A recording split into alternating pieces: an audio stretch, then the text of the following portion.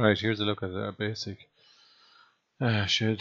Uh, so five spans long, it's uh, 24 uh, feet deep, so eight, and then uh, two more eights. Uh, 14 slash uh, here on the front of it in about a foot and a half here, out eight feet uh, from this pillar, so the cubicle bed will just uh, reach it here. Um, then uh, precast panels around the back. Obviously, you run a sheet or board or something up the back it here. Uh, front facing down, facing across to the existing sheds, and then a, a concrete uh, feet space in here in front of it. Uh, agitation mindset both ends. Um, then as a cubicle layout, as cubicle layout, you'd end up with something like this. So you'd end up with uh, 20 cubicles along the back wall here. So five bays of four.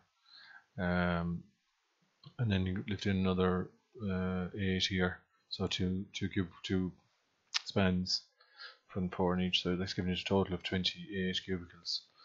Uh, this is still 8 feet wide.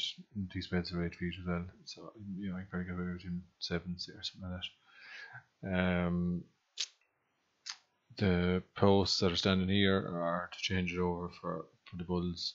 So to change over for the bulls, uh, turn back on those posts in a minute. Um, so to change over for the bulls, I suppose there's two options. Ideally, you take down the cubicles uh, relatively easy. Um, but with the ideal situation, um, I leave all this area free, and I suppose you put the, the advantage an advantage of that is that you might be able to get bulls out into this as well. That you might be able to have swinging gates on this that open out the way, and so you can take your of bulls out into this uh, area here and down. Or the, you may be able to get them out of each one more confined uh, down along. Uh, but that depends on how easy it is to get in and out the cubicles. Now, maybe some of the EasyFix of those. That's the the EasyFix easy fix post. Job was left there. Um, something like that now I suppose it could be dangerous enough.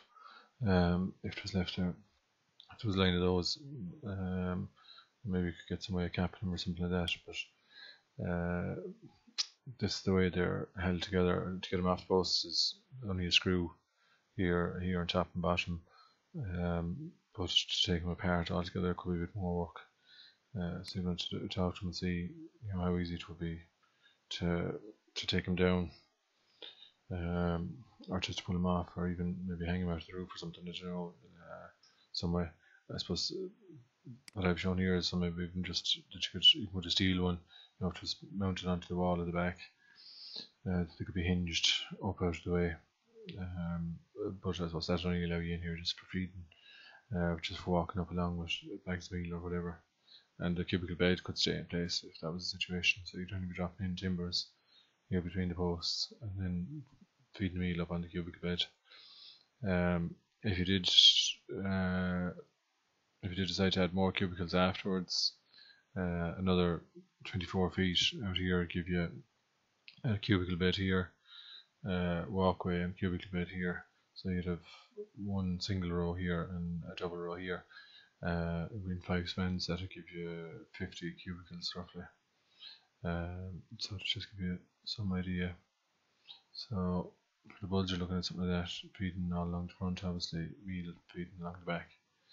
Um, cubicles then you're looking for 20 28 cubicles uh, something like that. So just gives you uh, some idea 15 15 degree pitch and height to here is three and a half meters. Oh, okay